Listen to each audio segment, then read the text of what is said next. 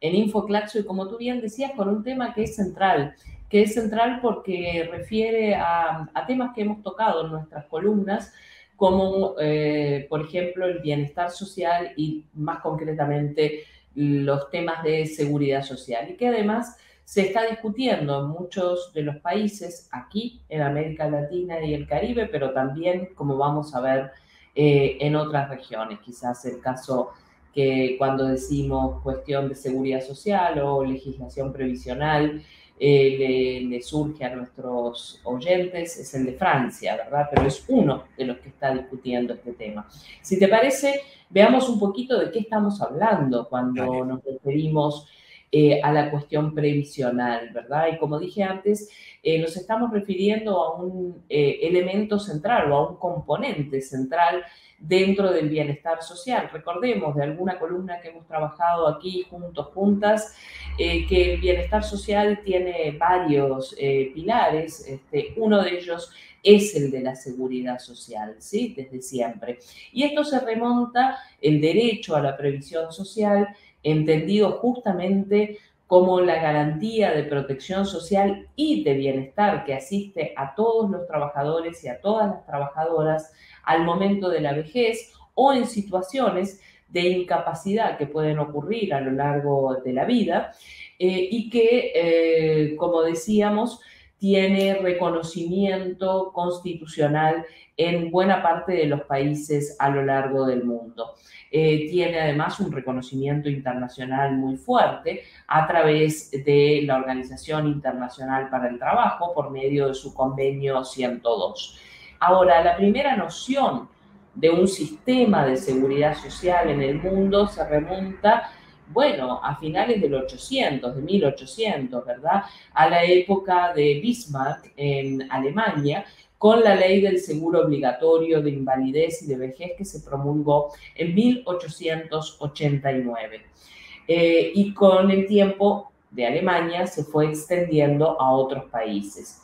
Eh, los sistemas previsionales en el mundo permitieron instituir y legitimar la idea de la jubilación, es decir, el retiro del mercado eh, laboral a una edad socialmente determinada, que ha ido variando a, lo largo del tiempo, estableciendo mecanismos colectivos de distribución de recursos para financiar los beneficios. Es decir, llegar a una edad en la que es posible retirarse, jubilarse, del sistema del mercado de trabajo con ingresos asegurados de manera solidaria entre las distintas generaciones y en los distintos países. Evidentemente, según el modelo que miremos, tanto actual como a lo largo de la historia, encontraremos diferencias en los niveles de cobertura y en los niveles de gasto previsional y dependen de decisiones eh, políticas, además, por supuesto, de contextos históricos y sociales, sobre el diseño y la implementación de estos sistemas y de la estructura sociodemográfica en eh, los distintos países. Si miramos nuestra región, la región latinoamericana, eh, la primera caja de jubilaciones, se llaman así, ¿verdad? Cajas, bancos de jubilaciones, la primera caja de jubilaciones de empleados de la administración pública se creó aquí en la Argentina en 1904 y el primer sistema no contributivo de pensiones se creó en Uruguay, en mi país, en 1919, mientras que el primer sistema nacional obligatorio de seguridad social se creó en Chile en 1924 e incluía la Caja del Seguro Obrero, la Caja Nacional de Empleados Públicos y la Caja de Empleados Particulares. Hoy, si miramos la realidad latinoamericana, estamos lejos todavía de tener un sistema unitario de jubilación, de jubilaciones en nuestra región. Eh, algunos de los sistemas siguen todavía teniendo una marcada presencia del Estado, mientras que otros tienen un fuerte giro hacia la privatización en el manejo de los fondos de pensiones y jubilaciones. En todos los casos se enfrentan a grandes limitaciones por los niveles de informalidad laboral que hemos abordado también aquí en las columnas de Infoclaxo, que es una de las principales causas en la baja cobertura en la región, además de las transformaciones demográficas y la tendencia al envejecimiento en nuestra región. Los trabajadores y las trabajadoras no registrados, los informales, como se llaman, transcurren buena parte de su vida eh, laboral sin realizar ningún aporte previsional y seguramente alcanzan la edad de retiro sin tener derecho a la jubilación. Particularmente esto lo podemos observar en el sector rural y entre los que se llaman trabajadores por cuenta propia. La informalidad, la baja cobertura y la pobreza en la vejez obviamente están muy relacionadas. Los países más pobres tienden a tener sistemas de seguridad social menos desarrollados e y a invertir menos recursos en beneficios. Esto, por supuesto, que limita las posibilidades de la política pública de reducir de manera efectiva la incidencia de la pobreza en la vejez y limita, por supuesto, los derechos a un ingreso propio de esta población. Si miramos a nivel micro, a nivel de las familias, sucede algo similar. Los trabajadores y las trabajadoras con ingresos más bajos y, menores niveles de cualificación suelen encontrarse en la economía informal y carecer también de cobertura previsional. A fines del siglo XX, en el marco de la reestructuración de las economías latinoamericanas que prosiguió a la crisis eh, de la deuda y al llamado consenso de Washington, el nuevo paradigma previsional impulsado principalmente desde el Banco Mundial y otros organismos internacionales fue la privatización, total o parcial, de los antiguos sistemas públicos de reparto Implicó, por tanto, el retiro del Estado y su reemplazo por sistemas de capitalización individual y de gestión privada. El resultado, bueno, ya lo podemos imaginar, ¿verdad? Los problemas de cobertura persistieron y en muchos casos se agravaron. Si bien la privatización de los sistemas públicos pudo ser revertida en algunos casos, en el caso de Argentina nuevamente, eh, el común denominador es que todos los sistemas de Latinoamérica se enfrentan a retos enormes que representan un fuerte desafío a las finanzas públicas. Se prevé además que América Latina vivirá un acelerado envejecimiento poblacional y que para el año 2045 las proyecciones eh, indican que cerca del 18% de la población total estará conformada por personas de 65 años o más. Un estudio de la CEPAL del año 2020 sostenía lo más, lo más probable es que la protección social, la cobertura y el nivel de las prestaciones que presenten los sistemas de pensiones no sea equivalente, lo que podría provocar importantes efectos económicos y sociales. Ese año, cerca de 57 millones de personas pertenecían al grupo de 65 años y más, la edad mínima de jubilación en buena parte de los países latinoamericanos. La CEPAL advierte que para 2040 se proyecta en torno a 111 millones de personas que estarán en dicho grupo etario, alcanzando así el 15% de la población total en la región. A este número creciente de personas mayores en América Latina se suman, como ya mencionamos, los trabajadores informales, que no suelen aportar para su pensión, eh, según muestran distintos estudios de la CEPAL, de la OCDE, entre otros. La nuestra es una región en que las tendencias muestran que podría haber más pensionados y menos trabajadores que aportan al sistema en una proyección.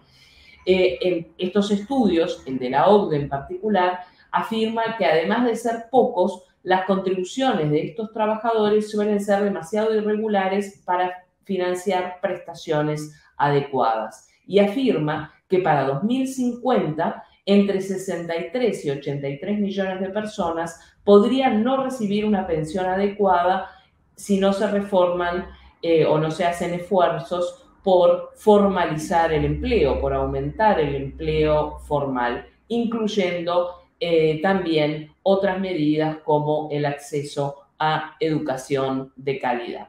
Además, debemos agregar las desigualdades de género, que son otra limitación de los sistemas previsionales actuales, donde generalmente se trabaja con, como unidad eh, de protección con la familia o el hogar, definida como un núcleo estable en el cual la mujer se dedica al trabajo no remunerado del hogar, incluyendo el cuidado de los niños, las niñas y las personas mayores, y que se encontraría protegida a través de su pareja. Un diseño que evidentemente responde cada vez menos a la realidad actual, a la, realidad de los hogares actuales y a la realidad de las mujeres actualmente en América Latina y el Caribe.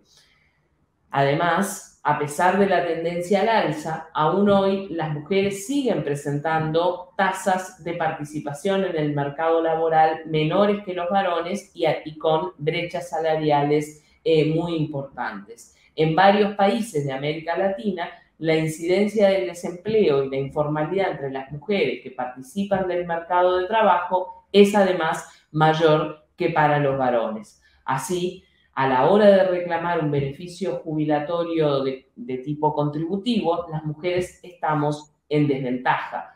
Acumulamos menos aportes y por lo tanto muchas de nosotras no lograrán alcanzar el mínimo requerido para obtener un beneficio. Y las que sí lo obtienen eh, recibirán beneficios más bajos, sea por haber contribuido pocos años o porque sus aportes o ingresos laborales fueron menores. Por todo esto, es cada vez más urgente avanzar en reformas de fondo con contenido social, canalizando recursos que hoy son destinados a políticas muy alejadas de las necesidades de nuestra población. Y ello es válido, como decíamos al inicio, no solo en nuestra región, sino también en Europa. Para ello, veamos el caso de Francia, muy brevemente, ¿verdad? Que ha estado en la prensa y en los medios eh, durante este último tiempo. Hay una reforma de pensiones que se impuso a mediados de abril por decreto del gobierno del presidente Macron, que desató fuertes críticas y sobre todo fuertes protestas en las calles. Se validó en esa reforma el retraso de la edad de jubilación de 62 a 64 años a partir de 2030 y el adelanto a 2027 de contar de, cotizar y, contar con más aportes, de cotizar 43 años y no 42 como es hasta ahora, para poder eh, tener una pensión completa. Esta segunda economía europea, que cuenta desde 1945 con un sistema previsional de reparto basado en el principio de solidaridad intergeneracional, por el cual los trabajadores activos pagan las pensiones de los jubilados, bueno, empieza también a modificarse. Macron argumenta ahora que su durabilidad no es sostenible en un país que registra un envejecimiento de la población, donde la esperanza de vida es superior a 85 años en mujeres y casi 80 años en varones, y dice que busca evitar un déficit de 13 mil millones de euros en las cajas de pensiones para 2030. Bueno, esto tiene diferentes lecturas y por supuesto muchos expertos, entre ellos los grupos de trabajo de Claxo que abordan estos temas, eh, han mostrado la falsedad y el contenido alarmista de estos eh, anuncios.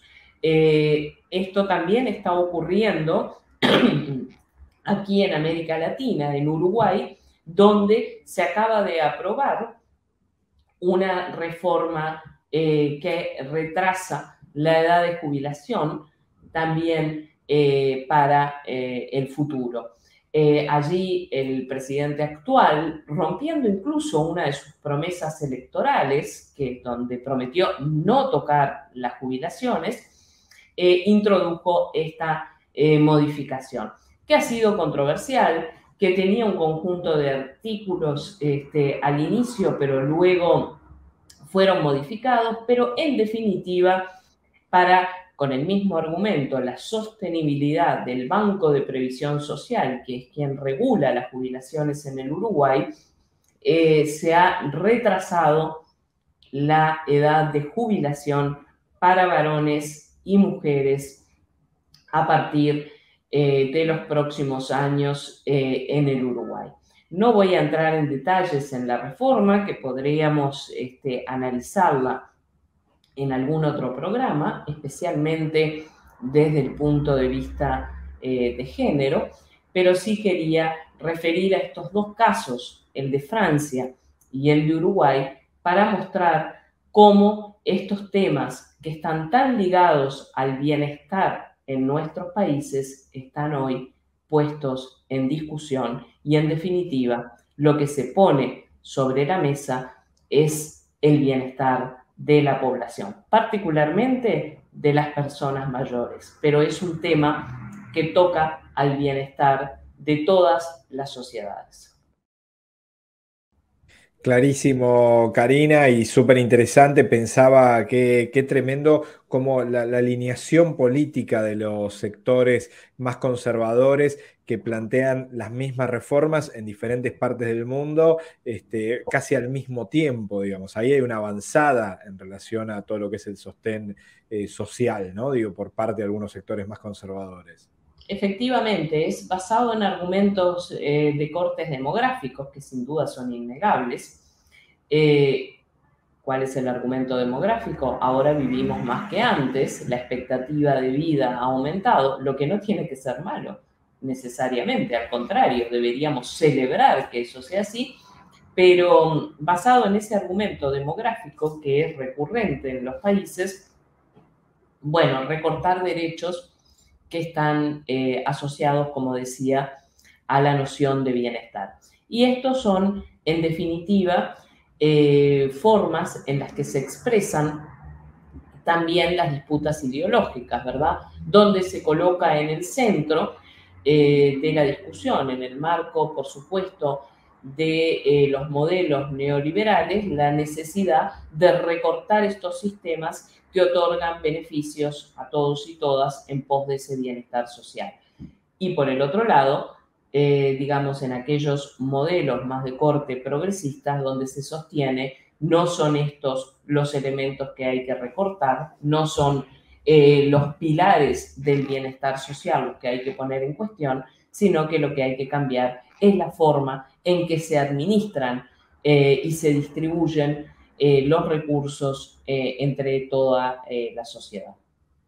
Karina, quedó clarísimo, me parece que es súper potente y es un inicio del programa que marcó eh, históricamente, pero también políticamente y entendiendo esos trazos entre diferentes partes del mundo de lo que viene sucediendo eh, para las charlas que van a seguir en este Infoclaxo especial. Bueno, eh, Colombia la vez pasada, eh, previsión social, jubilaciones ahora, y se vienen eh, programas importantes y recorridos importantes con respecto a los foros. Muy pronto Fortaleza.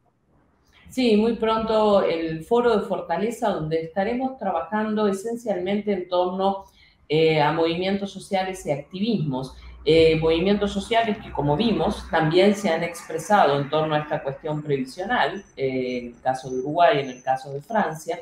Estaremos entonces eh, preguntándonos y debatiendo en torno al papel de los movimientos sociales y el activismo en América Latina y el Caribe, que tiene, como sabemos, sus particularidades y que tanta visibilidad ha tenido en los últimos tiempos y ha sido tan clave en alguna de las transformaciones sociales eh, recientes en nuestra región. Recordemos Chile, recordemos Colombia, recordemos también, sin ir a países, en eh, todos los avances que el movimiento feminista eh, por medio de la marea verde este, ha logrado en nuestra región, ¿verdad? Vinculado a los derechos sexuales y reproductivos, a la violencia y también a los reclamos en torno a las políticas de cuidado que están calando en cada uno de nuestros países.